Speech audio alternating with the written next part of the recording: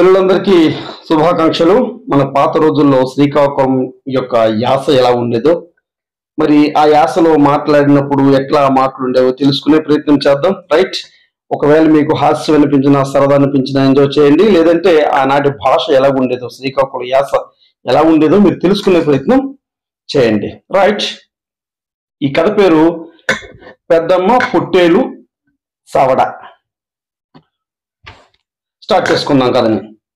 ఒకరోజు పేదరాశి పెద్దమ్మ గడపలు కూకుంది.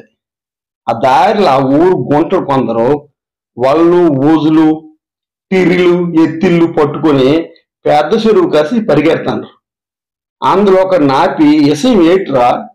అని అడిగి తెలుసుకుని పెద్దమ్మ పెడకనున్న బూజు తీసి బూజు దులిపి తిరిగి భుజం మీద వేసుకొని బయలుదేరింది. తులేత చిన్న ఇలుసు దొరికింది. తర్వాత ప్రయత్నిస్తే పెత్త పరిగి ఆ తర్వాత సొక్క పరిగి ఆనక బేడిసి సీక్లెచ్చి జల్ల బొడిగి బొమ్మిడి మిట్ట తాటిమిట్ట బురదమిట్ట బురద మిట్ట రెయ్యి ఎండ్రికి పీత మార్పు ఇలాగా ఒకదాని తర్వాత ఒకటి దొరకుతుంటే తిరిలేసుకుని తీసి నీటిలో వదిలేస్తుంది చివరికి ఒక పెద్ద సవడ దొరికింది. దానితోని తుపి తీరింది పెద్దమ్మకి ఇంటికి వెళ్ళిపోయింది కత్తిపేట పొయ్యి బుగ్గి పలకరాయి పట్టుకొని సవడిని పొయ్యి బుగ్గిలో పొరిపి పేక పట్టుకొని కత్తిపేట కానించి కొయ్యిపోతుంటే సవడి ఏడిసినట్టు పెద్దమ్మకి చూసింది. వదిలేవా అని అన్నట్టుంది పెద్దమ్మకి ఎవరు లేరు పెద్దమ్మ కూడను. పిల్లజల్లా ఎవరి దారిని వాళ్ళు చూసుకుని వెళ్ళిపోండి.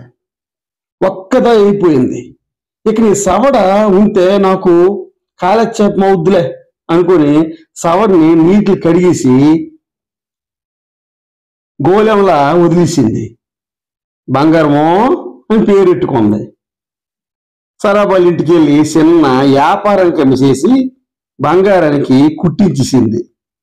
బంగారము అని పిలిచి చాలు నీట్లో నుంచి మీదకొచ్చి ఇన్ని నోగ్గింజలు ఎత్తే తినేసి వెళ్ళిపోయేది. ఇక ప్రతిరోజు పెద్దమ్మకి బంగారం లేకపోతే గడిచిదే కాదు. ఒకసారి సంతకి బయలుదేరి ఉట్టి మీద అన్నం పెట్టి పక్కింటోళ్ళకి ఇంటికి తాళమిచ్చి ఇచ్చి మా బంగారంకి కొంచెం నూకలేసి ఎర్రా అని చెప్పేసి వెళ్ళిపే పక్కలేళ్ళకి పక్కింటికి చుట్టాలు వచ్చినారు. వాళ్ళకి మంచి మర్యాద చేయనాకి ఊర్లోకి గుడ్ల కోసం వెళ్తే దొరకలే. ఏడ్ చెయ్యాలా పరుపు పోద్దు గల అనుకొని ఆలోచిస్తుంటే పెద్దం పెంచుకున్న సావడానికి జ్ఞాపకం వచ్చింది. ఆ తర్వాత నిదానంగా పెద్దమ్మకి చెప్పొచ్చునని ఆ సవడను కూర చేసేసి చుట్టాలు గుడ్డించాను. అలా బొద్దులేళ్ళకి పెద్దమ్మ శాంతి నుండి వచ్చేసింది.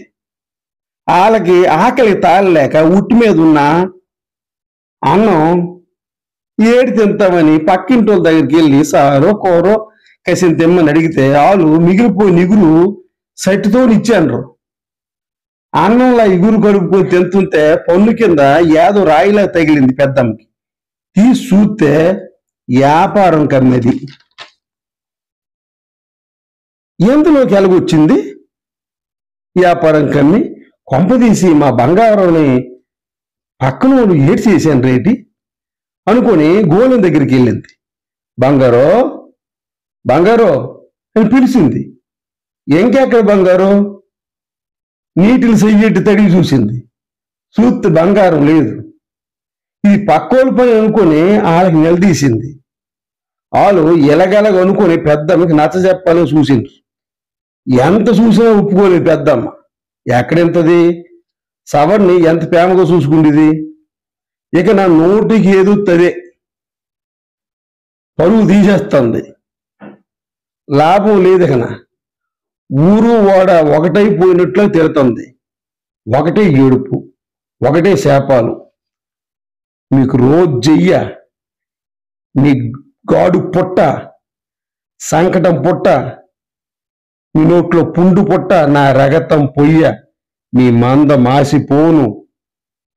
గాలి వానెత్తుకుపోను మీకు దినవారం ఎట్ట? మీ నెత్తి గొట్ట.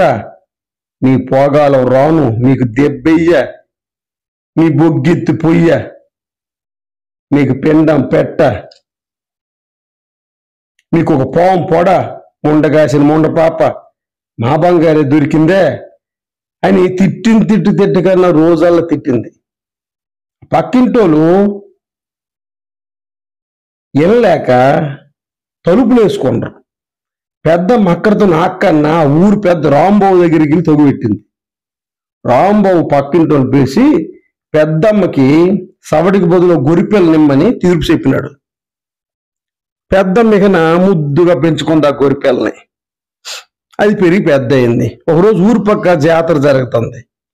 అందరూ జాతరకి వెళ్తారు గురిపోతూ పెద్దమ్మతోని పెద్దమ్మ పెద్దమ్మ అందరూ యాత్రకి వెళ్తాను నేను వెళ్తాను అంది. ఎప్పుడు అడగని అడిగిందని చెప్పి డబ్బులు ఇచ్చి పంపించింది. చీకటి పడిపోయినంత దాకా అవి ఇవి చూసుకొని ఉండిపోకు.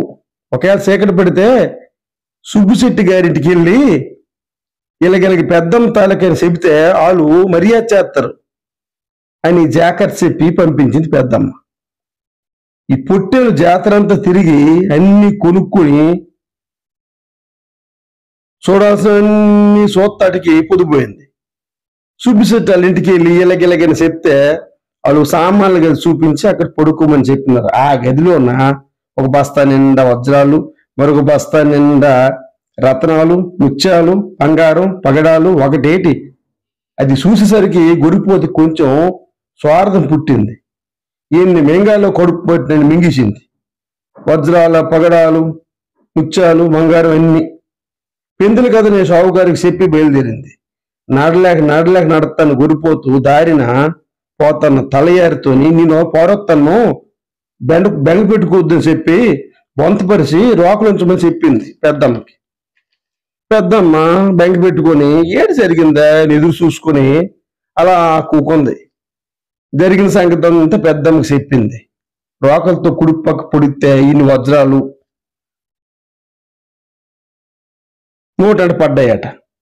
ఎడం పక్క పొడితే ఇన్ని రత్నాలు పడ్డాయట. పడిన సంపదని కొలడానికి పక్కింటి వాళ్ళ దగ్గరికి వెళ్ళి సోలు అడిగిందట. ఏటి కొలుతాండ్రు చూడాలని సోలు అడుగున చింతపండు ఇచ్చిందట పక్కింటమ్మ. కొలిసి గోళ్ళలోనే వేసి దాచింది పెద్దమ్మ. సోల వాళ్ళ దానికి ఇచ్చేసింది. పక్కింటోళ్ళకి తెలిసి ఆశ్చర్యపోనారు. సోలడుగున వజ్రాలు ముత్యాలు అంటించి ఉండిపోయినాయి. పెద్దల దగ్గరికి వచ్చి ఆరా తీస్తే ఇలగిలగని చెప్పింది. వాళ్ళకు కొన్ని ఇచ్చేసి పెద్దం కొన్ని ఉంచుకుంది. రైట్ సుభాష్ విద్యార్థులు మీరంతా విన్నారు కదా? ఈ విధంగా పాతకాలంలో శ్రీకాకుళంలో ఉన్నట్టు ఉండేటటువంటి యాస ఉండేది. రైట్ ఇంకో స్లాంగ్ వీలైతే ఇంకోసారి కలుసుకుందాం. ధన్యవాదాలు. శుభదినం.